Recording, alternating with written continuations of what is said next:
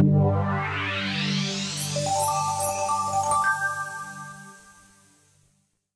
here with uh, Dr. Francis Kim, an associate professor at the University of Washington, to discuss his pre hospital study titled Randomized Clinical Trial of Pre Hospital Induction of Mild Hypothermia in Out of Hospital Cardiac Arrest Patients using a rapid infusion of 40 degrees Celsius normal saline. Welcome, Dr. Kim. Thank you. Tell us a little bit about the background uh, behind uh, therapeutic hypothermia and uh, what led you to uh, select this type of study to perform. So, most uh, hypothermia now is initiated in the hospital after hospital arrival and has been shown to increase neurologic outcome and survival, especially if people have ventricular fibrillation. However, animal models suggest that early cooling right after return of spontaneous circulation may improve outcomes further and may be even more beneficial. In order to do pre hospital cooling, um, there are a lot of different technologies available, but the easiest, most feasible, and um, generalizable form of cooling is just a rapid infusion of cold normal saline. And this was thought to decrease temperature very rapidly as soon as possible after return to spontaneous circulation. So we underdid, we uh, undertook a randomized clinical trial to determine whether pre hospital cooling using cold normal saline could improve hospital survival as well as neurologic outcome. Briefly, uh, tell us about the methodology, patient population, and so forth. So, we did the study in Seattle and surrounding King County, and any uh, successfully resuscitated patient by paramedics in the field were screened for eligibility. Um, if they were eligible, basically, if they had return of spontaneous circulation and they had esophageal temperature probe and they were still unconscious, they were eligible to be part of this study. So the study included all cardiac arrest rhythms. Yes, we included both ventricular fibrillation and non-ventricular fibrillation, which includes PEA and asystole. And what did you find?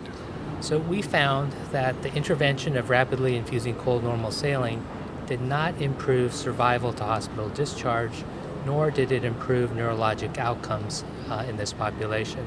And this was true both, both for the patients that had VF as well as non VF.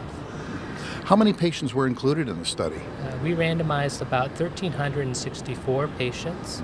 Uh, about 40% were VF patients, and the other 60% were non VF patients.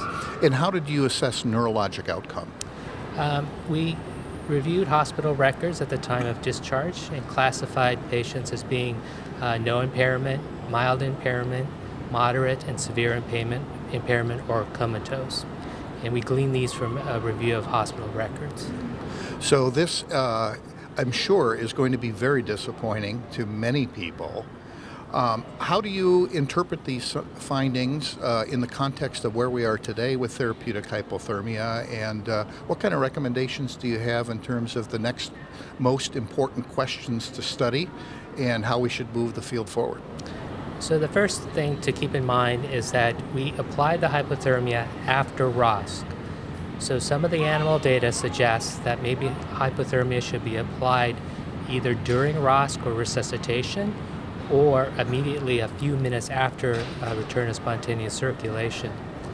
I think our study, um, there's some delay in terms of administering the fluid and whatnot, but we applied the technology as soon as possible.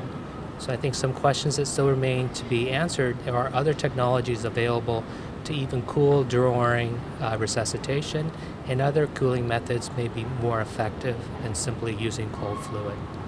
Were all of your patients, uh, uh, did they receive uh, therapeutic hypothermia on arrival to the hospital? Or did some of them just get pre hospital cooling but not get hospital based cooling? So that's a very good question. Um, all the hospitals in, that participated in our study at the start of the study had protocols for cooling once they arrived to the hospital if they had ventricular fibrillation. And one hospital in our area only cooled non VF while the others didn't. We didn't mandate cooling in the hospital, but most of the hospitals already had these cooling protocols available. So, of all the total enrolled patients for ventricular fibrillation, 77% went on to receive hospital cooling. as about 50% of the non VF patients received hospital cooling. Well, this is, uh, you're to, first of all, you and your uh, co authors are to be congratulated on an extremely important study, uh, one that provides us with new insight uh, into this uh, area and uh, gives us direction for the future. Okay, thank you. Thank you.